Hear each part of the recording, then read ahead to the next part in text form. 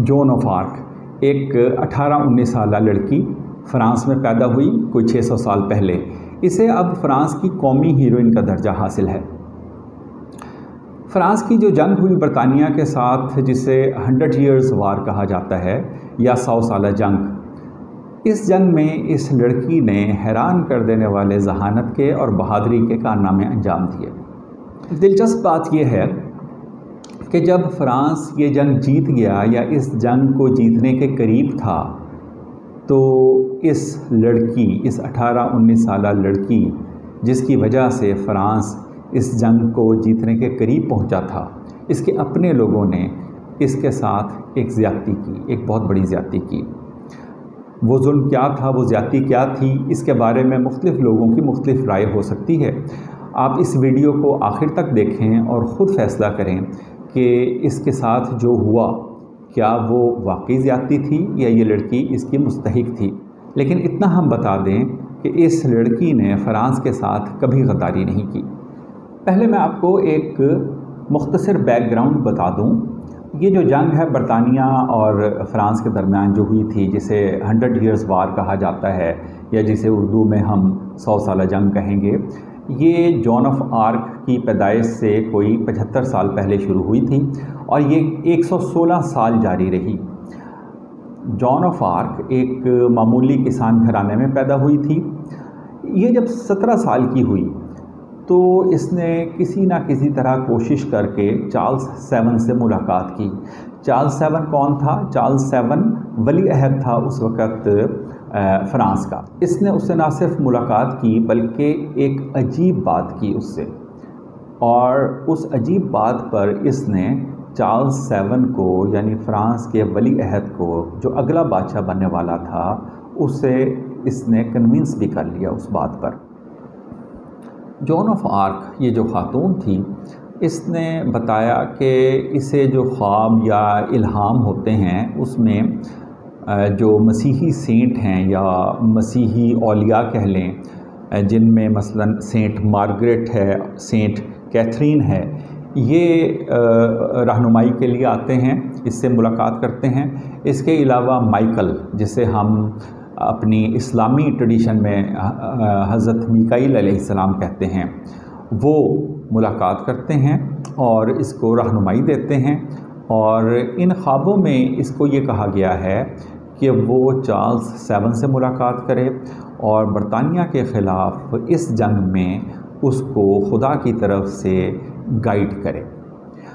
अब ये मालूम नहीं कि किस तरीके से चार्ल्स सेवन जो वली अहद था, वो कन्विंस हो गया और इसकी बात मान गया।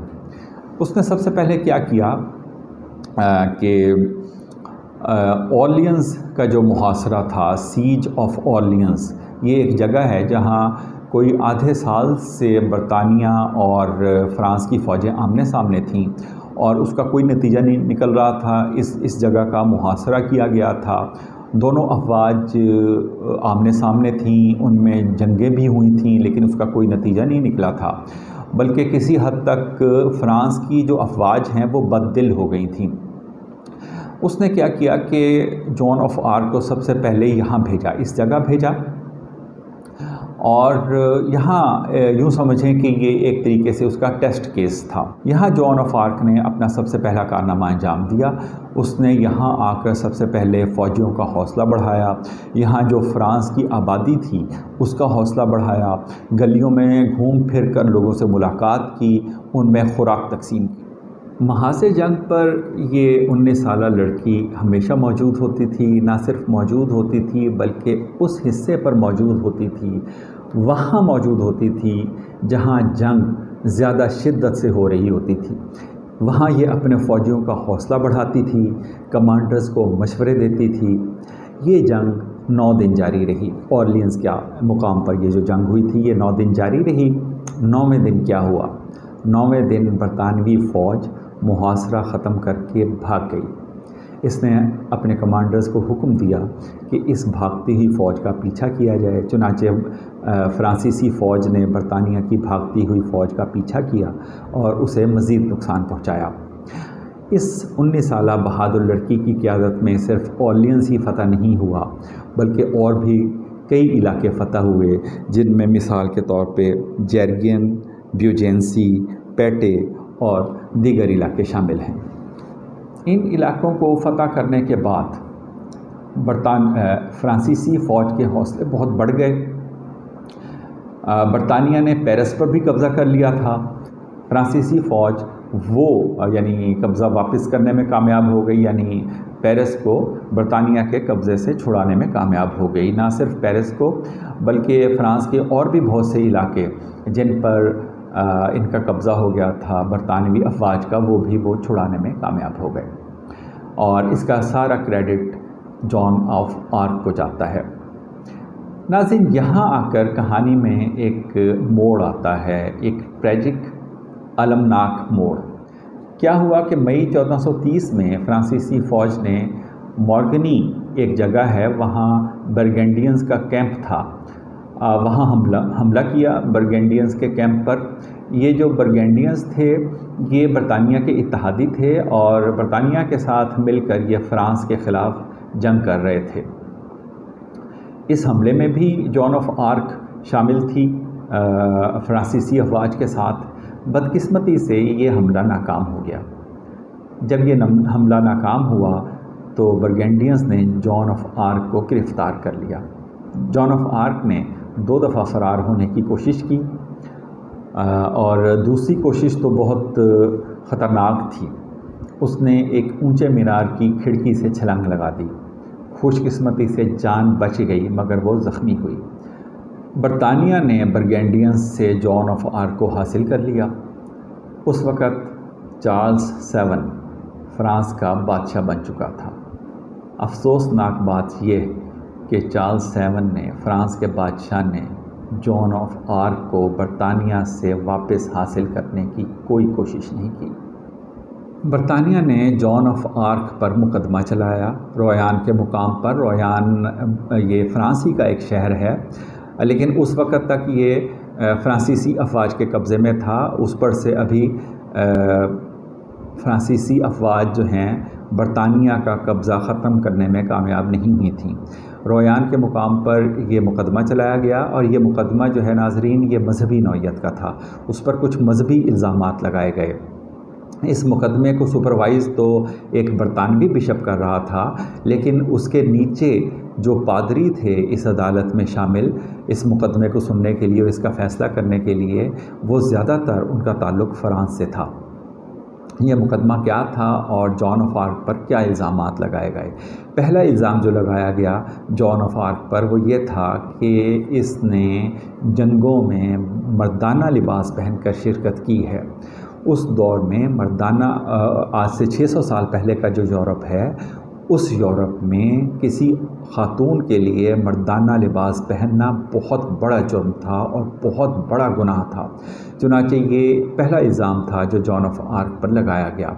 दूसरा इल्ज़ाम जो उस पर लगाया गया वो ये था कि ये ये क्लेम करती है, ये ये दावा करती है कि खुदा इससे कुछ मसीही बुज़ुर्गों, सेंट्स के ज़रिए और माइकल, यानी हज़रत अलैहिस्सलाम के ज़रिए इसे हम कलाम होता है या यूँ कहें कि उसके, उनके ज़रिए हदायत देता है। 600 साल पुराने यूरोप में ये तस्वुर करना कि चर्च के वास्ते के बग़ैर, चर्च के मीडियम के बग़ैर कोई आम इंसान जो बिशप नहीं है, जो पादरी नहीं है वो खुदा से किसी तरह की हदायत ले, चर्च के तबसत के के बग़ैर। ये बहुत बड़ा जुर्म समझा जाता था। चुनाचे दूसरा इल्ज़ाम ये था कि इसने ये कहकर चर्च की तोहन की है। अगला इल्ज़ाम जो इस पर लगाया गया, वो ये था कि जिन मसीही बुज़ुर्गों यानी सेंट्स के ज़रिए ये दावा करती है कि खुदा इसे हदायत देता है, ये उन सेंट्स के मुजस्मों और तस्वीरों की पूजा करती है, प्रस्तिश करती है। और ज़ाहिर है कि मसीहियत में तस्वीरों या मुजस्मों की पूजा करनी, प्रस्तिश करनी, ये बहुत बड़ा गुनाह और जुर्म है। अगला इल्ज़ाम जो इस पर लगाया गया, वो ये था कि इसने जो फ्रा इसकी इसने जो रहनुमाई की है, फ़्रांसीसी अफवाज की, जिसकी वजह से फ़्रांस को फ़तह हासिल हुई बरतानिया के ख़िलाफ़, उसमें इसने जादू विच क्राफ्ट से मदद ली है। और इसके अलावा इस पर बहुत से इसी तरह के ब्लासफेमी के इल्ज़ाम लगाए गए, यानी तोहन मज़हब के इल्ज़ाम लगाए गए।